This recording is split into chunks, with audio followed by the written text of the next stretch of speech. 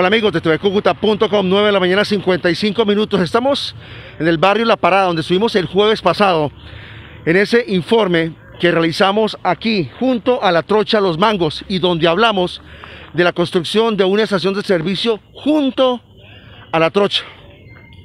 Y dijimos que era que ustedes mismos tienen que sacar las propias conclusiones, que nosotros no íbamos a juzgar a nadie.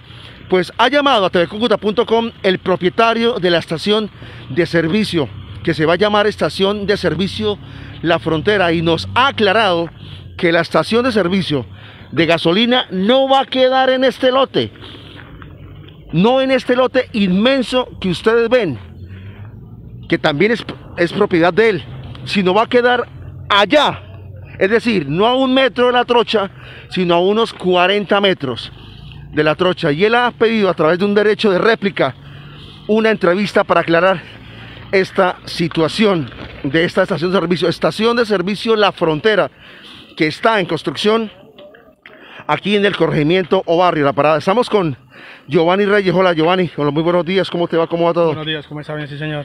Giovanni, ¿cuáles son las aclaraciones que usted Pues, tiene que hacer? Primero que no es allá, ¿no? Primero que todo que la estación no es allá. La estación viene 34 de frente por 34 de fondo, más o menos metros cuadrados. ¿Y aquí, qué El se- cual- ¿Y aquí se va a construir algo? No, señor. Eso se está rellenando, puesto que están haciendo una obra de construcción detrás de Villa de Rosario y están sacando todo ese relleno. Acá ellos pagan escombreras y acá vienen y me dan 3 mil pesos por dejarlos botar ese viaje. Y pues como el lote está muy abajo, lo que estamos es buscando la altura de la carretera. Sí. Eh, vuelvo y repito, la estación va a ser en este lado. Estamos esperando la licencia de construcción, puesto que ya pasamos, tenemos nuestros papeles, Cámara de Comercio De Villarrosario. de Villa de Rosario, eh, todo lo de la DIAN. Este es un derecho de petición que se le pasó a la alcaldía, puesto que nos están solicitando a la Cámara de Comercio. Sí. Eh, desde el año pasado estamos, la constituimos.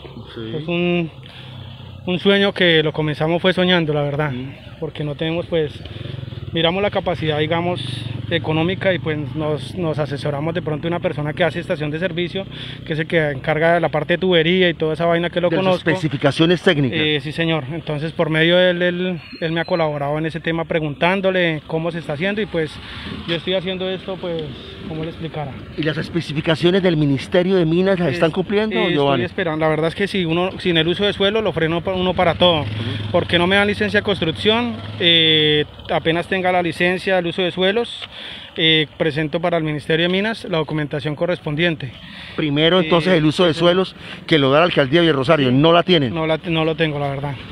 Porque la verdad estamos esperando que nos lo den. Pues me pidieron que tenía que tener un, eh, una certificación ambiental, el cual pues ya la mandamos, ya vinieron especialistas de Bogotá, estaban colaborándome en ese tema.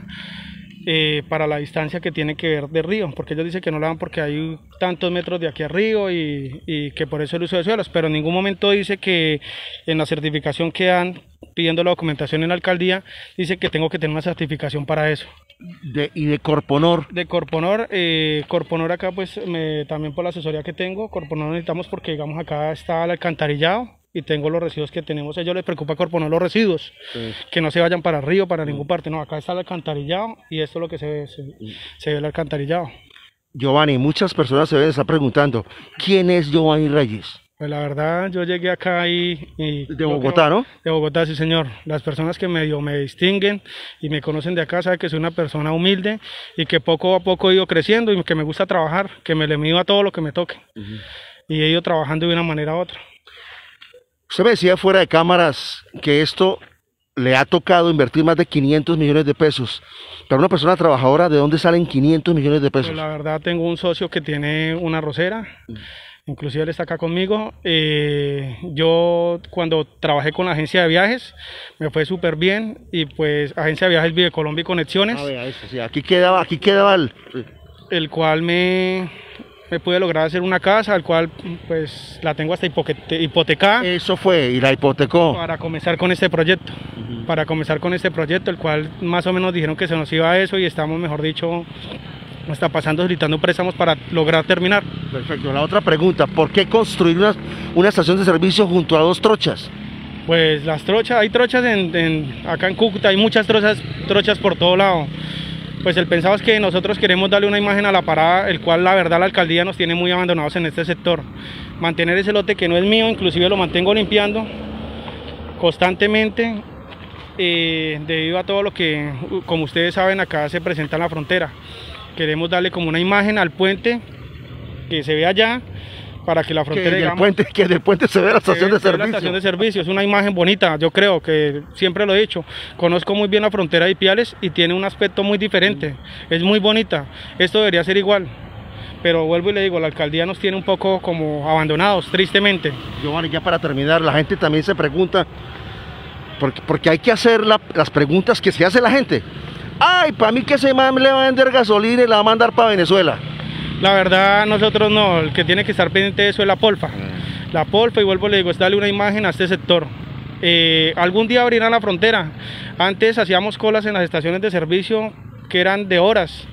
Y sabemos que en San Antonio y en, y- y en Ureña hay varias bombas. Por eso es que acá están haciendo bastantes bombas.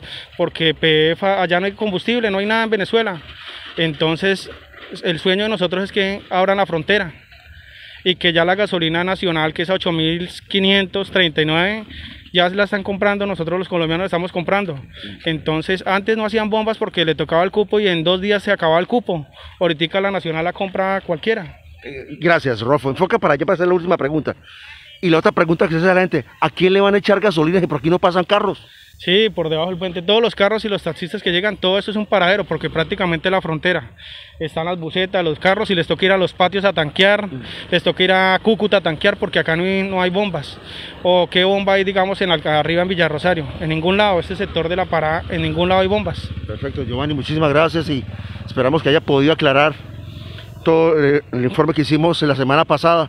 Ahí está Giovanni Reyes, propietario de la estación de servicio La Frontera. ¿En cuánto aspira abrirla?